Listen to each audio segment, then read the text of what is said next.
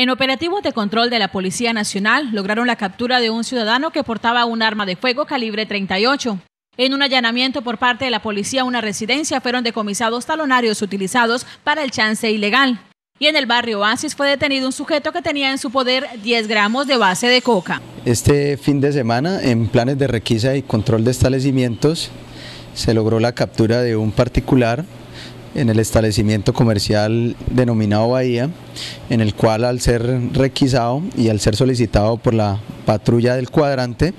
se le encontró en su interior, en la pretina del pantalón, un arma de fuego eh, calibre 38, marca Col. Misma forma, pues este ciudadano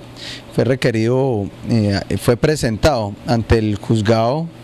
eh, de este municipio y en el cual pues, le dictaminó una, una, pena privativa de la libertad y el cual pues, eh, pues la audiencia fue llevada el día de ayer.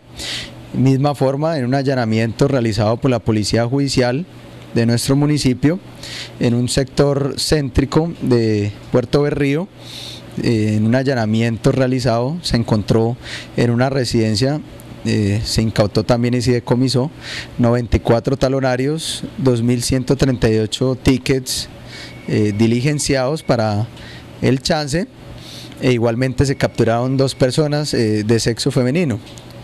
En plan de requisa y control de ciudadano, la patrulla del cuadrante, por el sector del cuadrante 2, más exactamente el barrio Oasis, al ser requerido un ciudadano, se le halló en su poder 10 gramos eh, de base de coca, en, eh, los cuales los portaba en 10 papeletas y el cual también fue presentado ante el, juzgado eh, de penas e igualmente pues ya fue escuchado en audiencia. La Policía Nacional hizo un llamado a la ciudadanía para que no compre rifas que no hayan sido legalizadas, es decir, que no tengan el sello de la administración municipal que indica que pagaron los respectivos impuestos. Todas las personas no es de desconocimiento que en Puerto Berrío han proliferado algún tipo de, rifas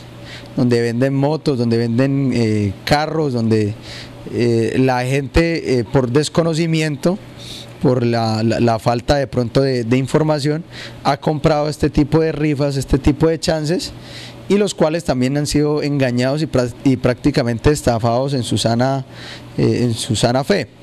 Igualmente, pues a todos los porteños darle una información que quien vaya a comprar este tipo de, de, chances debe verificar este tipo de rifas, debe verificar que en, la parte del respaldo de, cada uno de estos tickets vaya eh, representado el sello de la alcaldía municipal, el cual representa y el cual puede dar fe que este premio se va a cancelar, eh, va a ser pagado, e igualmente que este, que este chance